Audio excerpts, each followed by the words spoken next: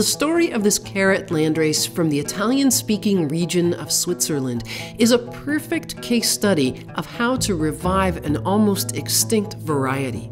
Purple carrots seem to have originated somewhere between today's Turkey and Afghanistan. Later, carrots followed the spread of the Ottoman Empire toward the east and the west. This is likely how they made their way to Austria and Germany, where they became known as Violet Mura. They also spread to Spain, where they were called black Spanish carrot. These purple carrots with a yellow heart never really became popular in Western Europe.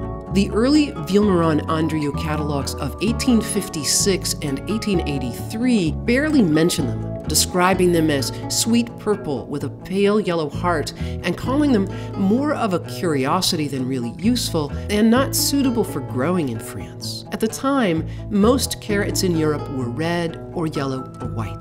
The purple carrot made its way somehow to the Tessin region of Switzerland at the crossroads between eastern, western, and southern Mediterranean parts of Europe, and where lakes and southern facing mountain slopes allow for a mild microclimate even at such a northern latitude.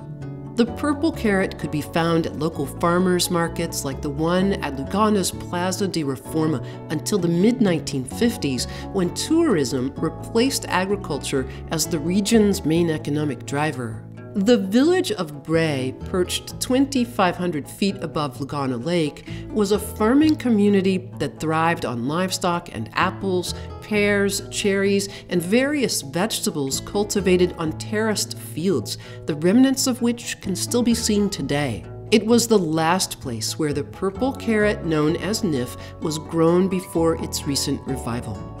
The carrot Gniff took its name from its rough skin and appearance. The local expression famille c'est le nif can be translated as to make a face or to look grumpy. In the late 1950s, a man named Sartori noticed that the popular Gniff carrot was disappearing from local markets. His family had grown it on terraces where rye once grew, and he remembered hoeing fields of the carrots in the 1930s. In the end, only one older woman from Brè was selling the purple roots at the market in Lugano. Sartori acquired a handful of seeds from her and began growing the variety. In 1999, he handed some over to ProSpecieRara, a Swiss seed saving organization.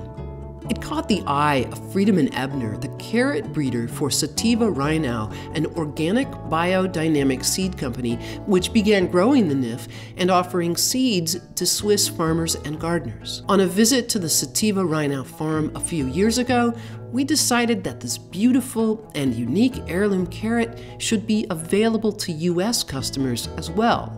It takes one last grower who's willing to share with a seed saving organization, as well as a company that can spread them to a large audience. In today's world, the Gniff is a perfect example of how different players can bring an endangered variety back to life.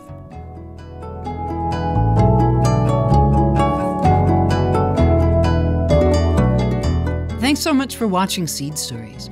We love bringing you the backstory on these amazing varieties. Be sure to click the subscribe button so you won't miss a single episode.